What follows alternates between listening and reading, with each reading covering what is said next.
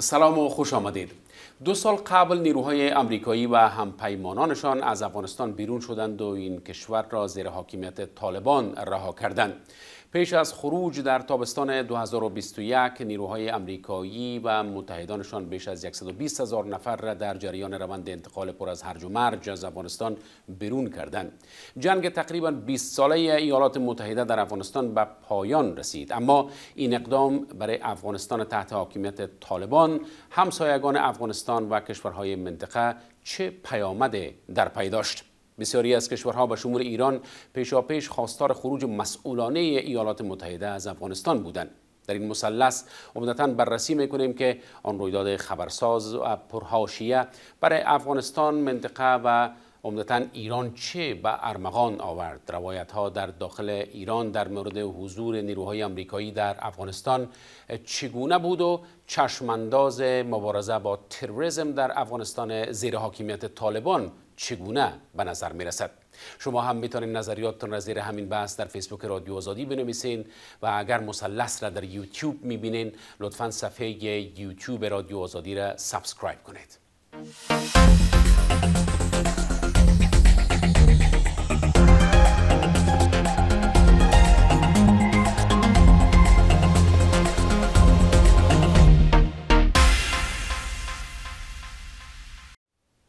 گپ می‌زنیم با شاه محمود میاخیل معاون اول و سرپرست سابق وزارت دفاع جمهوری مخلوع افغانستان و راد شهیدی خبرنگار رادیو فردا بخش ایران رادیو آزادی. خوش آمدید به این مثلث. جناب میاخیل یک روایت این است که برخی از تصمیم گیران تراز اول از جمله شخص اشرف غنی رئیس جمهور مخلوع افغانستان فکر نمی کردند که امریکایی ها از افغانستان بیرون شوند. می‌خوایم بدانم که شما چی فکر می‌کردین؟ سلام برسه به شما و شنونده های شما. او یک بحث بسیار کلان است که از سال 2002 بعضی تحلیلگرا یا بعضی کسایی که در حکومت بودن به این فکر بودن که امریکا بالاخره از افغانستان می مگر متاسفانه که بخش کلان جامعه و افراد دولتی که وزیرا بودن خود رئیس جمهور کرزی و حتی رئیس جمهور اشرف غنی و هیچ کس باور نمی‌کردن که امریکا از افغانستان برای و یک اشتباه و یک calculation بسیار صحیح نبود. دیگه به همین خاطر اما در مقابل همسایه افغانستان بالخاص ایران و پاکستان و میفهمیدن که امریکا از افغانستان میبرایه و و می‌خواستن که گروپ های مسلح را که طالب است یا گروپ های دیگه که وجود داره با او رابطه داشته باشه محاسبه خود شما چگونه بود جناب میاخیل شاید جالب باشه برای مخاطبان ما. خب ما بعضی چیزها را نوشته کردیم و چاپ هم شدن در وقت سابقه. چون ما در دو سال آخر در حکومت بودم و تقریبا ده سال باعث رئیس بخش افغانستان اینستیتوت صلح ایالات متحده آمریکا کار می‌کردم دیگه ما خودم با این عقیده بودم که قوای امریکایی از افغانستان می‌بره و حکومت افغانستان باید سر حاکمیت قانون و سر سیستم سازی و این فرصتی که در افغانستان به میان آمده از او استفاده کنه. دیگه این اختلاف تقریبا از سال 2002 به این طرف یعنی وجود داشت می نظریات مختلف.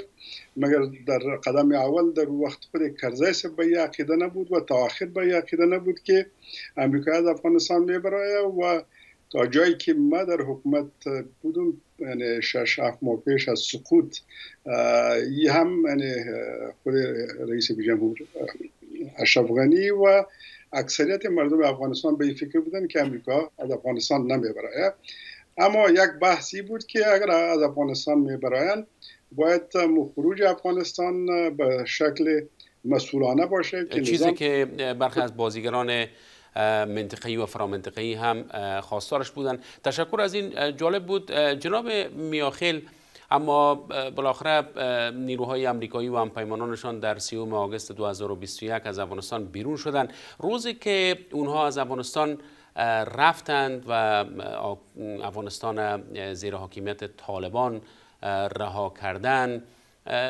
شما چه سمت را به عهده داشتین و در کجا بودین؟ شاید جالب باشه برای مخاطبان ما که بدانن ما تقریبا شش ماه پیش از سقوط جمهوریت باعث سفیر در قطر تعیین شده بودم و در وقت سقوط در شش ماه در کابل نبودم. و منتظر اگریمان خود بودم که اگر اگریمان به باعث سفیر به قطر برم. و چی حس داشتین وقتی که شنیدین که آخرین سرباز امریکایی پس از تقریبا 20 سال از افغانستان بیرون شد؟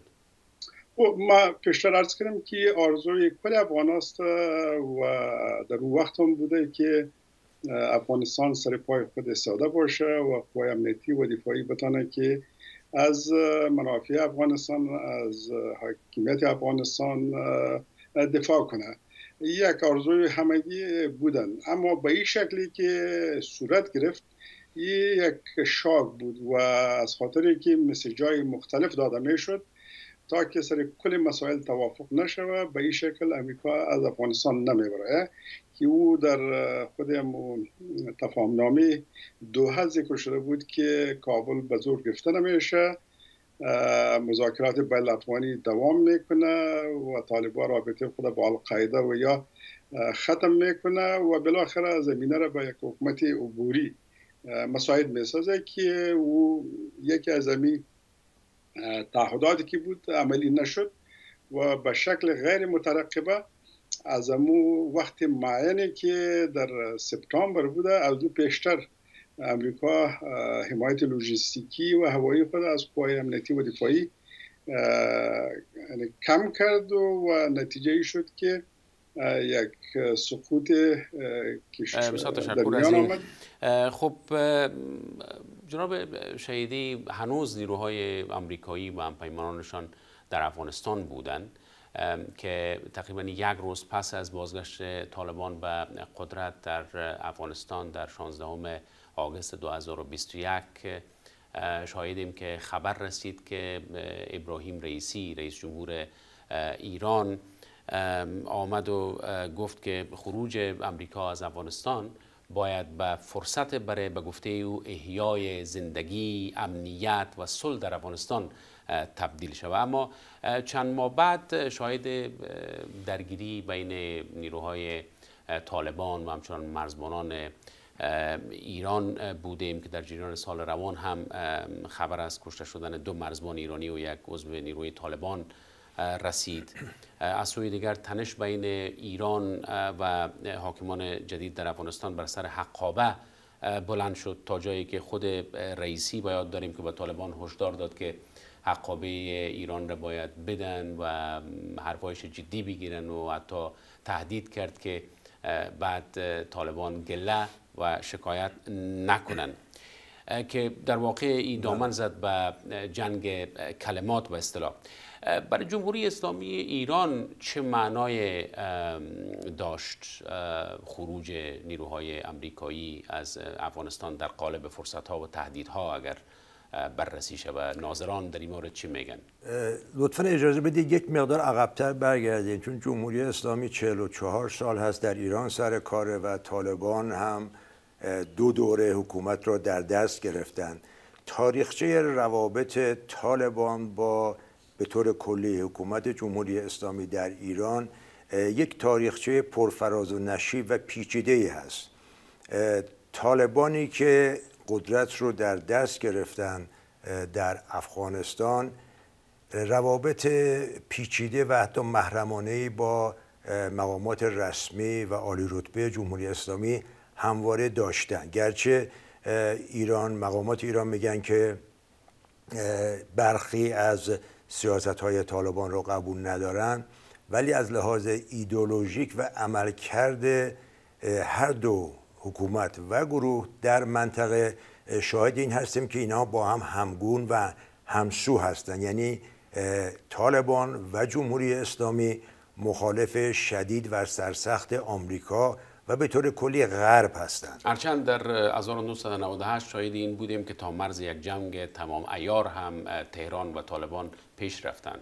پیش رفتن به خاطر اختلافات محلی و یک سری اختلافاتی که دارن ولی این اختلافات اونقدر عمیق نبوده و عمیق نیست که دو طرف رو به یک جنگ واقعی صرف نظر از جنگ ها و درگیری های پراکنده در نقاط مرزی وابداره مسئله اینه که ایران همیشه خواهان این بوده که هیچ نیروی آمریکایی در منطقه خاورمیانه نباشه. چه در افغانستان چه در سوریه چه در عراق و بقیه کشورهای منطقه. و آمریکا هم سیاستش این نیست و نبوده که صحنه رو در منطقه خاورمیانه که از نظر استراتژیک بسیار مهم است برای ایالات متحده خالی بکنه. ولی وقتی می‌رسیم به روابط ایران و طالبان پیچیدگیش از اونجا هستش که اینا چون از نظر ایدولوژیک و استراتژی همسو و همگون هستند گرچه اختلافات مقطعی و موضعی دارند ولی در دوره جدیدی هم که طالبان حاکم شده بر افغانستان گرچه ایران هنوز به طور رسمی مشروعیت نبخشیده به حکومت طالبان و اونو به عنوان حکومت مردمی و مشروع افغانستان محسوب نمی‌کنه ولی روابط سیاسی اقتصادی و استراتژیکش رو حفظ کرده. ما شاهد هستیم هفته پیش که آقای نبویان یکی از نمایندگان مجلس و دو نماینده مجلس به کابل رفتن. استقبال رسمی شد در پرس کانفرنس مشترک شرکت کردن. این نشون میده که روابط خوب هست در خفا و در اظهار عمومی. اما این درگیری های مرزی و جنگ لفظی بر سر حقابه و این موضوعات از چه قرار است؟ رسانه ها چی میگن؟ مثلا رسانه های چی میگن؟ بله رسانه های ایران تاکید می‌کنن. آقای رئیسی آقای امیر عبداللهیان وزیر خارجه بارها گفتن که باید طالبان احترام بذاره به قراردادی که دهه ها پیش امضا شده و حقابه ایران رو بده. ولی در عمل بجز درگیری های پراکنده مرزی و تنش لفظی و سیاسی که بین دو کشور به وجود اومده عملا طالبان هیچ قدمی به جلو ور نداشته و ایران هم برخلاف تهدیدهای لفظی که می‌کنه عملا کاری نکرده. آقای نبویان یک جمله جالبی گفت بعد از برگشتن از کابل که می‌گفت رفتن صد کجکی رو دیدن. فاصله صد کجکی با مرز ایران و افغانستان 700 کیلومتر است و آبی نمیمونه در دست طالبان که از طریق رودخانه هیرمن به این بده. یعنی به طور تلویه میگه که ایران به نوعی پذیرفته که طالبان به ایران طبق قراردادی که امضا شده دهه ها خب، پیش خب تشکر جناب شهیدی. حتما بیشتر بحث می‌کنیم. اما اجازه بدین که بریم پیش میاخیل. صاحب جناب میاخیل حضور تقریبا 20 ساله ایالات متحده امریکا در افغانستان از زاویه های گوناگون قابل بحث و نقد و بررسی می‌تونه باشه. اما اگر از این نقطه نظر صحبت بکنین شما که چه فرصت هایی را برای افغانستان پس طالبان ایجاد کرده بود؟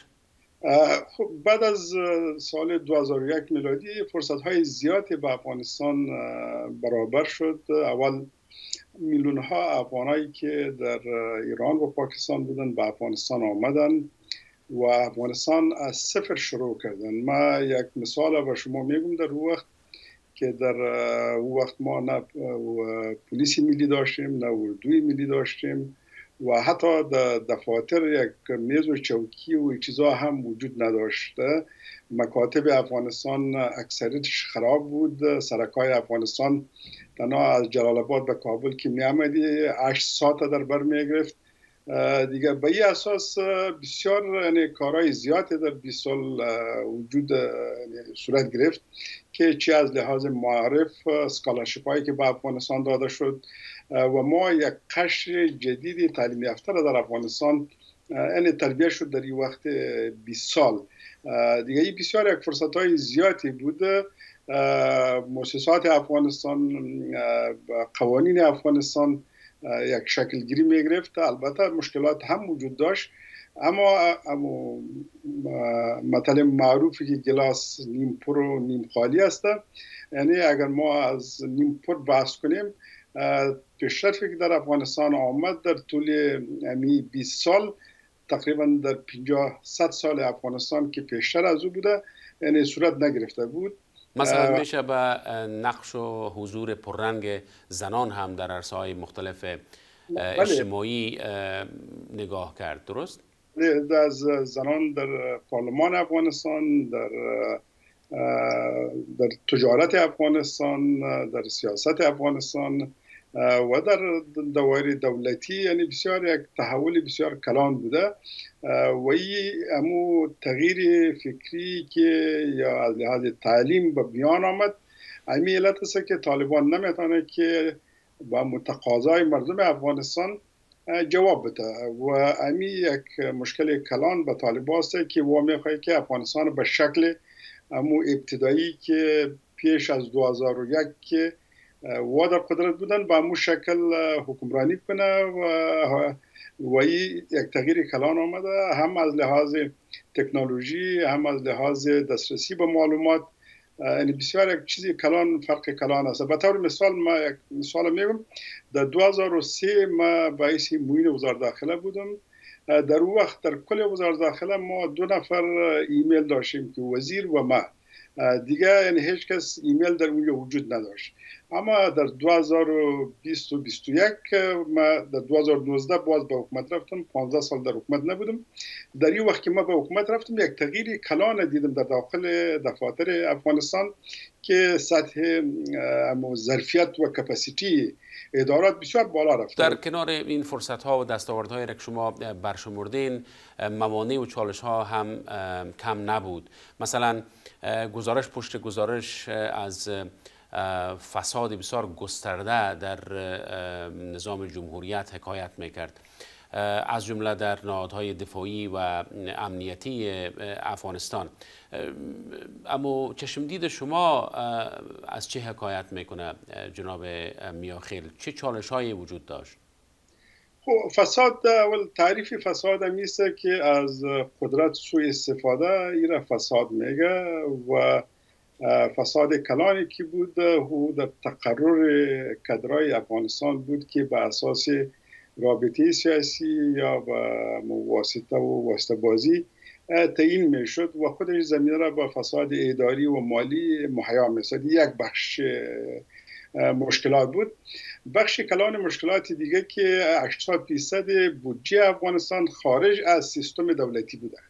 یعنی به قراردادهای بینالمللی و داخلی و منطقوی داده می شد و خودش یک فساد کلان به میان آورده بود که در او کلگی به اسلام و سیستم مافیایی داخلی و منطقوی و بینالمللی در او دست داشت. یعنی فساد تنها نبود که در دستگاه دولتی بود. از این خاطر که کل احسایی که بانک جهانی نشر کرده هر پیسی که به افغانستان رفته از طرف سیستم حکومت یعنی از دستگاه دولتی در اونجا فساد کمتر بوده و پیسی که بیرون از بودجه به قراردادها و یا قراردادیا داده شده بود در اونجا اضافه بود.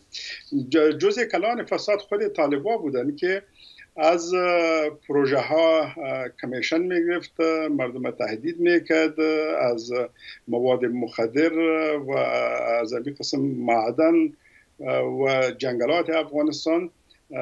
و از ترانسپورت افغانستان یعنی بسیار پیسه. حال یک کتاب دیگه که نشر شده به نام افغانستان پیپر که او را امو اسناد که سابق محرم بود و حال غیر محرم شده چاپ شده. اگر او را شما ببینین طالبا از حکومت کرده اضافه در فساد دخیل بودن. در حکومت افغانستان یا سیستم افغانستان در وقت تانست که مکاتب جور کنه سرک جور کنه سکالرشپ ها و چیزا به میان آمد. اما طالبا در مقابل هیچ خدمات عرضه نکرده غیری که تخریب کردن چیزایی که جور می‌شد و تخریب می‌کردن. دیگه فساد یعنی اتونیسه که تنها کسایی که در حکومت بوده اگر فیصدی از را ببینین بسیار فیصدیش کم است. آه یک 50 صد نفر اگر آدم حساب بگیره شاید همه قدر باشه. اما کل مردم افغانستان در فساد داخل نبودن بلکه امی قراردادی که گفتم که چی بینالمللی و منطقوی و در زمن خود بخش کلان فساد خود طالبا بوده که زمینه را به فساد مساعد میساد و خودشان هم دخیل بودن که در این باره اسناد بسیار وجود دارن دقیقا و کتاب ها رساله ها مقاله های زیاد هم در این مورد نوشته شده همونطور که شما از اوراق افغانستان یا افغانستان پیپرز هم یادآوری کردین که بحث مفصل میطلبه و نظریات هم در این مورد گوناگون هست. خب تا چند لحظه دیگه بیشتر صحبت می‌کنیم در این مورد اما پیشتر جناب میاخیل از فرصت ها و دستاوردهای یادآوری کرد که در زمان حضور نیروهای ایالات متحده آمریکا در افغانستان شاهدش بودیم. جمهوری اسلامی ایران چگونه می نگریست به همین دستاوردها؟ مثلا آزادی بیانی که در افغانستان بود آزادی مثلا رسانه ها حضور زنان مثلا زنان در ورزشگاه ها می رفتن مثلا کانسرت برگزار می کردن مثلا به بیرون از افغانستان می رفتن و به همین ترتیب دموکراسی نوپایی که ایجاد شده بود در افغانستان. جالب است بر مخاطبان ما بدانند که نوع نگاه سیاسیون در ایران چگونه بود و شاید هم جالب باشه که جوانان در ایران آیا اسرت میخوردن از آنچه که در افغانستان اون روز می‌دیدن؟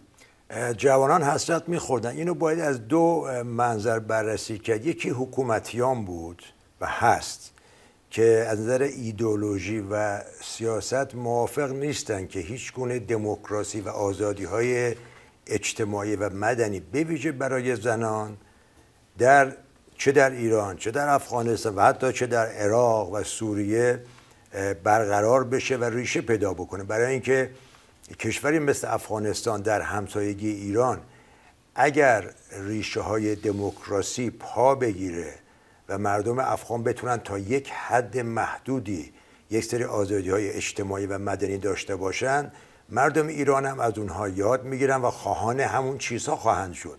مثلا در دورانی که قبل از طالبان دولت های مختلف با حضور آمریکایی ها در افغانستان و به ویژه در کابل ما شاهد بودیم که زنان مجری در تلویزیون ظاهر می شدن بدون هجاب ما شاهد این بودیم که خواننده های زن افغان کنسرت های چند هزار نفری با مجوز برگزار می‌کردن استقبال شدید می‌شد و حتی ویدیوهاش در ایران دیده می‌شد. مردم استقبال می‌کردن چون ما در ایران چنین چیزی نداریم که یک زن با مجوز رسمی بتونه روی صحنه بره کنسرت برگزار بکنه و چندین هزار نفر بلیت بخرن به تماشا بکنن. به ویژه برای جوانهای ایرانی یک انگیزه ای داد که الهام بخش بود. الهام بخش بود که بتونن پیروی بکنن یاد بگیرن این دموکراسی نوپایی که در افغانستان بود. یعنی یک جدالی بود بین روحانیون و بین حکومتی ها و مردم عادی چه جوان چه سنهای بالاتر که در کشور همسایه می‌تونه همچین اتفاقی بیفته. عراق هم همینطوری بود. که, که همه چیز مسیرش که تقریبا شما عوض شد. بله وارد وارد مراحل اولیه و ابتدایی دموکراسی بشید. این نکته جالب هست و تشکر از این. خب بگذارین بریم و پاکستان هم سر بزنیم و بشنویم از جناب میاخیل که حضور 20 ساله نیروهای امریکایی در افغانستان برای پاکستان چه معنایی داشت؟ شما می‌دانید که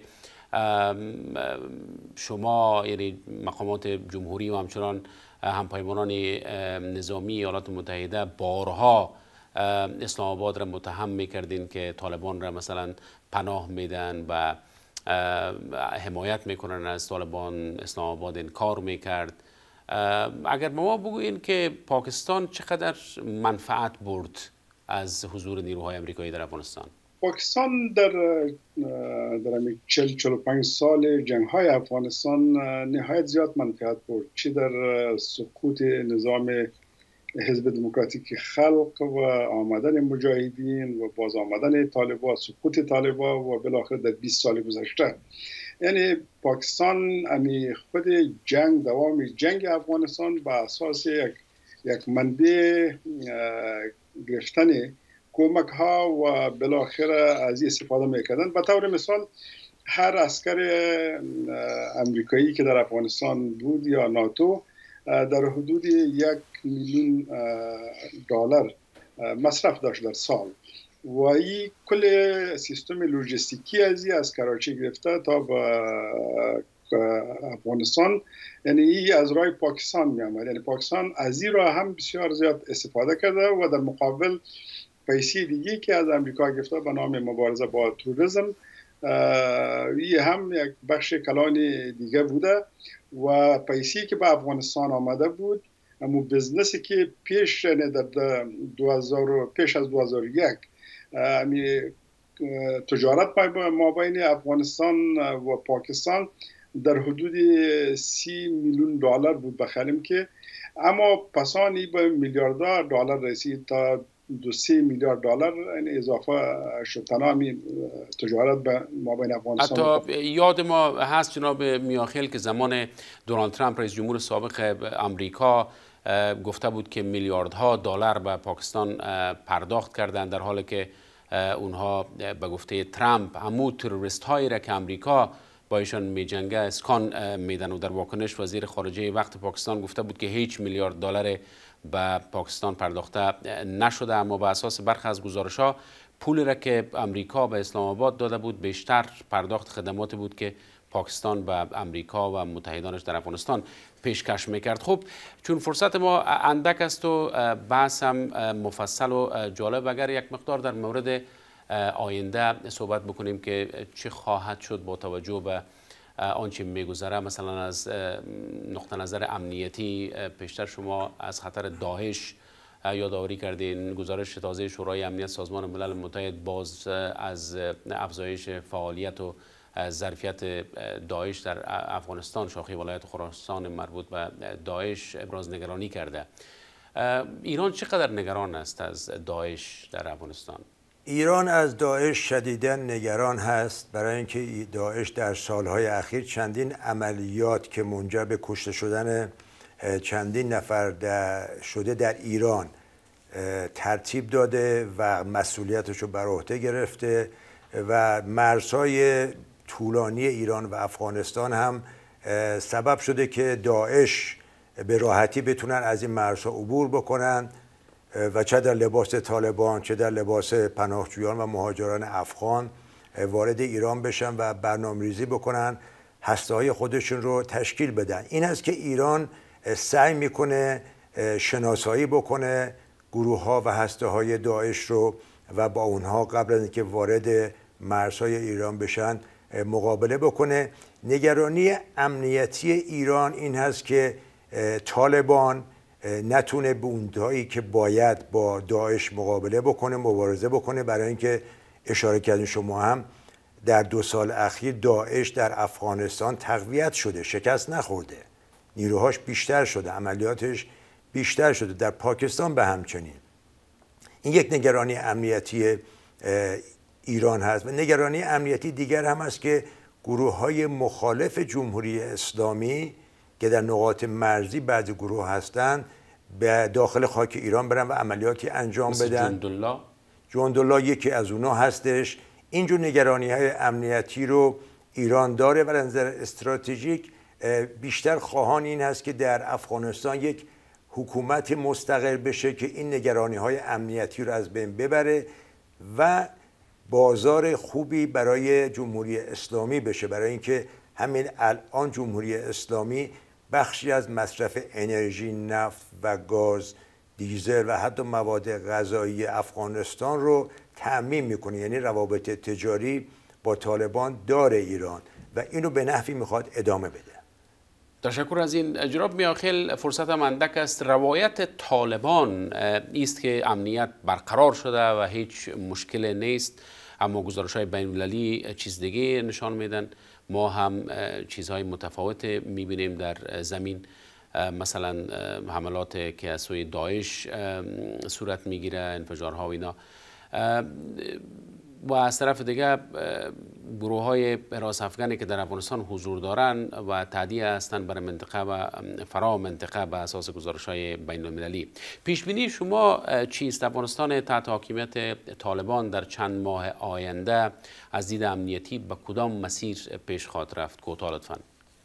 اول خود در افغانستان امنیت تعریف امنیت امنیت فیزیکی است امنیت روانی است و امنیت بشری که هر سیش در افغانستان وجود نداره. شما می‌بینید که به هزارها نفر از افغانستان یا به ده هزار نفر می‌خوای که از افغانستان براین و مردم زیر یک شکنجه در اونجا زندگی می‌کنه دیگه امنیت روانی در اونجا وجود نداره. وضع اقتصاد خراب است امنیت بشری در اونجا خوب نیست و امنیت فیزیکی هم روز به روز خراب شده میره. شما حملات اشاره کردین که حتی والی از یا کشته شدن و حتی در مابین خود یکی دیگه خود کشتن. شما چند روز پیش ویدیو را دیدین که یک بادیگارد میخزه یک رئیس خود می‌کشه در قندوز رئیس مواد مخدره. دیگه بعضی خاطر امنیت روز به روز خراب شده میره. مشکل کلان است که هم پاکستان و هم ایران گروپ های غیر یعنی مسلح جنگی را باعث هم اهداف استراتژیکی خود استفاده می‌کردن. در این چل سال استفاده کردن به نامای مختلف. دیگه بعضی خاطر طالب خوب طالب خراب. تورست خوب تورست خراب. کسایی که در کنترل ازیا بودن او را خوب می‌گفتن. کسایی که در کنترل ازیا نبودن او را خراب می‌گفتن. پس راه حل شما در چی می‌بینین؟ در یک جمله اگر چی می‌فهمم که این بحث مفصل می‌خواه که در افغانستان اگر حکومت مشروع و قانونمند نباشه طالبان ظرفیت از را نداره که همه گروپ های مختلف جنایی توریستی و گروپ های سازمان یافته جنگی را را کنترل کرده بدانه و ای خودش باعث سردردی به منطقه و به افغانستان پسته اما به منطقه هم میشه. دیگه به عوضی که همسایه افغانستان گروپ های مختلف تقویه کنه کوشش کنه که در افغانستان حکومت قانونمند مشروع و با اراده مردم افغانستان به میان بیاید. غیر از او وضعیت افغانستان و وضعیت منطقه خرابتر شده میره شاه محمود میاخیل معاون اول و سرپرست سابق وزارت دفاع جمهوری مخلوع افغانستان و راد شهیدی خبرنگار رادیو فردا بخش ایران رادیو آزادی. خیلی سپاسگزارم از حضورتان در این مثلث و تشکر از شما که تا این دم برنامه را دیدید.